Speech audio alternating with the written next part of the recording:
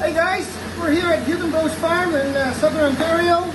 We milk about 260 cows. Uh, right now during the winter months, you milk quite a bit more milk because the feed is very consistent. And as you do a good job, you will produce quite a bit of milk.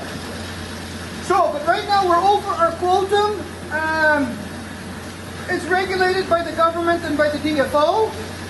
But the problem is, is what they don't understand is millions of people look at this milk running away because it's the end of the month. So tomorrow I have to dump, I dump 30,000 liters of milk. Uh, it breaks my heart. I will show you.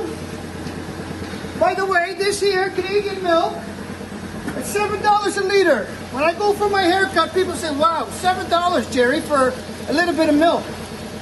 I say, well, you have to go higher up because we have no say anymore as a dairy farmer on our own farm because they uh, they they make us dump it. And no matter how we stand up, so this time I'm going public. I want the people to see the pain that us growers have of 365 days as a little boy. We grew up on a dairy farm, came from Europe, work, work, work, and here we are. This is what's happening. Oh, by the way, only one country in the world here in Canada. There's not, a, not the United States, not Europe, where they dump thousands of liters when they're over. But we're not supposed to talk about this because I don't know. It's just one of those things. Um, but as it's happening, I uh, I hope the DFO does look at this and says to herself, "You tell me if you're in the pig business." The wood industry, any steel industry, if you're 10% over when your times are good, how can you, so for us when it's good, our little bit of profit, it goes down the drain. How you guys dare to put this product on the market for $7 a liter and think that that's okay when there's a lot of mothers, single mothers with no, no extra, like, um, they have maybe a few kids to feed or whatever, or the sick kids hospital it could go to. Could go anywhere, to the food banks. But I hope you're proud, and I think you're going to be surprised, because yes, my name is Jerry Huigen. And I'm very proud that, that, that we, we, we send a really good product. And that you just kind of tell us, well, throw it down the drain. Nobody sees it. It's okay. But it's not okay. So, with that being said, it's one of the best products in the world. We've been milking here for 43 years. So I just hope that people will share this. Um, I, I, hope that uh, I haven't defended anybody, but the dairy industry for my kids, it has to keep growing. We're not growing, not even by 10%. We get a little bit of quota for free, okay, that gets given to us. Should never be that way. You should buy, just like a trucker has to buy his transport truck, okay?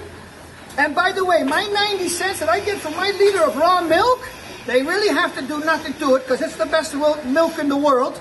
But what happens is, I pay for the trucking, I pay for the commercialized, everything gets paid to the farmer. Okay? So, but anyways, uh, we I do want to see, as you can see here, uh, Abraham, the, the good product, the cows are happy. I mean, look at these cows, right? They are free roaming. Um, she's got a smile. So, anyhow, all I can say is I'm standing up a little bit for the local people.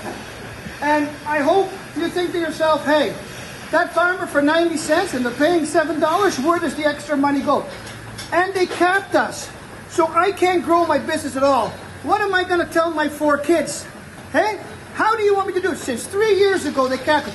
We're going to go 6% higher in, like 6%. We're looking at high interest rate three, the double, three times over on fuel. We are not going to stay in business in this country. So Justin Trudeau and Rob Ford, I'd love to take you for dinner. Okay? Call me, sit down with Huigenbros Farm, and I think shit like this, we have so much poverty over the whole world. Hardworking people like, like myself, I dare to say that, seven days a week as a little boy. I have looked at farm workers. They, they cannot they, they're sick to this.